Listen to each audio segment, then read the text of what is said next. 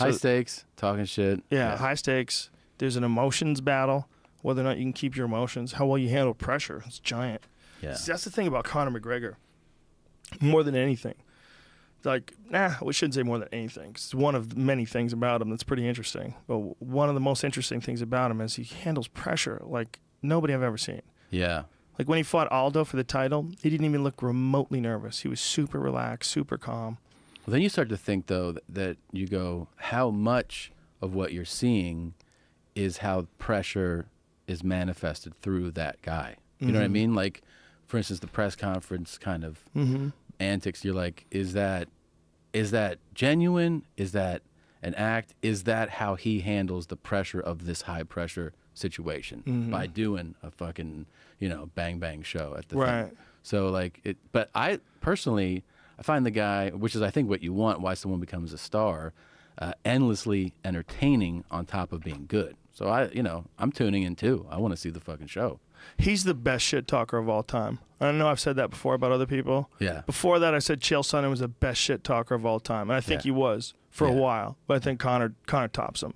And all of a sudden, all also as well, Conor has an additional significance to his shit talking because he knocks people dead. Right. It's Yeah. a totally different thing. And Chael Yeah. Sonnen, not that he's not a fucking animal, because Yeah. Chael Sonnen's an animal, and he, he's he's he submitted Shogun Rua. Chael Sonnen's a very solid grappler. Sure. Came very close to beating Anderson Silva in their first fight, so he's a stud. But what Conor does differently is he ices guys with one punch. And that's a big factor in a fight when you're watching him and he fights Eddie Alvarez, and all of a sudden he dings him with a left hand and catches him and rocks him early on. You go, Yeah. holy shit! And you realize like he's fighting a guy now at 155 pounds, and Eddie Alvarez is a big 155. He's a big guy, big muscular guy. Yeah. The idea is that he's going to be able to wrestle Conor. He's going to be able to grab him and grind him out the same way he did with Anthony Pettis. Mm-hmm. Nope, nope. Dealing with a totally different animal. Yeah. Conor's just got a totally different kind of focus as far as like the way he zooms in on targets Yeah. and his precision. It's just speed. He's just dropping it in there with 100% speed. Like that's a big part of what he's doing. He's not loading up at all. Yeah. And the ability to stay co- like when you load up, say like if you see someone coming at you and you just go like Yeah. you do, all that's wasted time. Yeah. All that's wasted time. What Conor has is the ability to be perfectly technical in a firefight. So like And just- Aldo's yeah. charging at him. This is like 13 seconds into the fight. Hmm. Aldo's charging at him, and he knows how to just slide back and blam drops that left hand in on him. Is the striking the strongest part of his? Yes, for sure. His ground game is underrated. He's very good on the ground. He's, Yeah. he's very good defensively.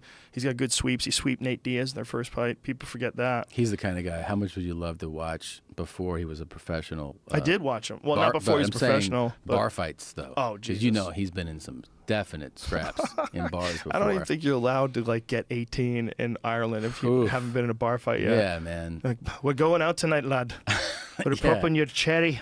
That's probably the worst accent ever. Probably right up there. But um, I saw him fight in. Uh, I I'm guess he was fighting Cage Warriors. I tweeted to him in like 2013 hmm before uh, he came to the UFC. I said, "I'm I'm a big fan, man. Yeah. I want you to come over." And did he? Yeah, I mean, Yeah. like right after that, um, the uh, UFC and him totally uh, coincidentally. I didn't call. I mean, I definitely probably told anybody who listened to me about yeah. him Yeah. because I had seen him fight before. I'm like, this kid ices people. Yeah. His left hand is just devastating, and he's got a crazy style. He fights in his like wide stance, and he moves different, and he Yeah. he cracks guys. I'm like, this kid's legit. I'd like to see him in the UFC. I never asked you. Um, Haha, there it is. Wow. Yeah, that's January of 2013. So it was almost four years Wow. ago. did you did you think of? I didn't. I never talked to you about. What did you think of all the um, you know, the talks of a him Floyd Mayweather fight? Did you just He'll it? fight him. I guarantee you, he would fight him. Do you think what kind of match do you think that? well, he's be? a lot bigger than Floyd. First of all, let's let's just um, emphasize that. Yeah. he's a lot bigger. Yeah. So it'd be a real problem as far as like weight cutting. Mhm. Because if they let they let Conor fight it wherever he wants, Conor's going to weigh somewhere around 170 pounds. Right. That's what he's at his best, like in his, Yeah. his optimum with no weight cutting. Yeah. I don't think Floyd's that big. I think Floyd. Hmm. I, I I guarantee you, he's probably not more than 160. Do you think Floyd's bigger than 160 in real life? Small dude. He's a small guy. Yeah. Like, even in person, he's really like short. Doesn't mean weight, but he's small. What weight did he begin his career at? Floyd Mayweather is a. I mean, I'm a huge Floyd Mayweather fan, Dude, and I he's a think bad when it comes to man. boxing, I think he's like one of the most skillful boxers that's ever lived. I really do. Technical, if not the shit. most. Listed Yeah. at 150. 150. Hmm. But uh, that's probably what he last fought at. Like, didn't he make um, when he met when he fought Canelo? Didn't he make him come down a bit? He made him come down to like 154 or something like that. that sounds right. Something like that. That, found, that sounds right. They had some sort of a catch weight fight. I remember. Huh. And Canelo's fighting at what? He's fighting at 160 now, He's definitely bigger. or is he fighting at 154? Gennady Golovkin is 160, right? Is that the the holdup? Is the two of them? Because I think I feel like Canelo's been fighting middleweight too. Like he fought Cotto. What was that at? Wasn't that at middleweight or 154? Alvarez fight, or yeah, Alvarez catch weight 152. 152. Huh. Hmm. Okay. Yeah, so he made Canelo lose some weight. He cuz Canelo's a lot bigger than him. Yeah. So Canelo probably walks around maybe 20 pounds heavier than that. That's a bad motherfucker, too. Oh, he's good. Yeah. And Floyd Mayweather just boxed him up. Yeah. What? I'm That's- not there. I'm here. Plop. Oh, look at that. Just beautiful Right. technique. That's the thing you have to wonder um, could uh, is is like would Conor's skills, just technical skills, match up to somebody like the counter counter defense? You know, I, ca- I can't imagine they Yeah, would unless Mayweather's so. out of shape. yeah, him. I'm saying on top of his game. it's- Yeah, it's him on top of his game, you're not going to hit him. Mm-mm. He's going to know. I mean, you have to be really top level to catch him.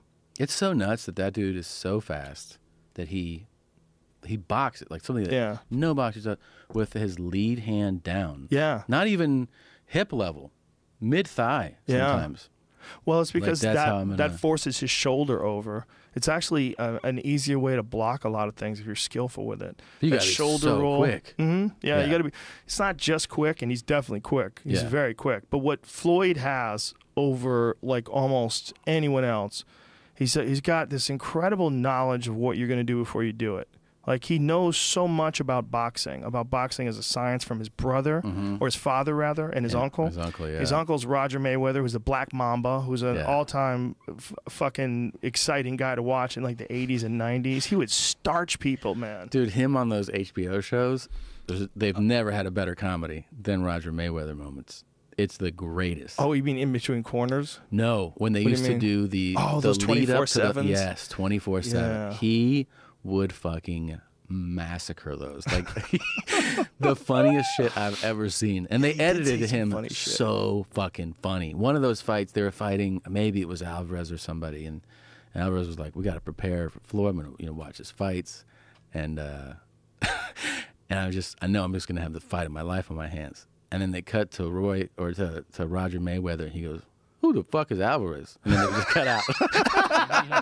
like he like he was pretending he doesn't even know who the guy is. But that really was. You know that that was a big part of the preparation for? I, I don't know if it in the end it was, but for a long time, when they would go like, "How are you preparing for this fighter?"